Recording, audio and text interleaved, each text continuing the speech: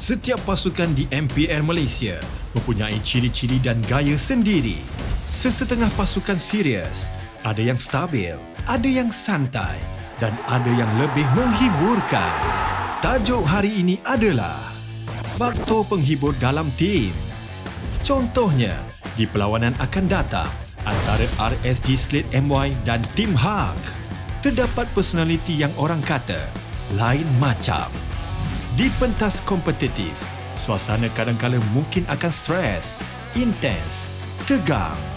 Dengan adanya seseorang penghibur, akan menceriakan mood pasukan masing-masing.